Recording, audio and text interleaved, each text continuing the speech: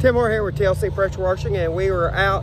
This customer right here that I'm pointing at right now is a regular customer. We've been doing him for, oh Lord, three or four years now.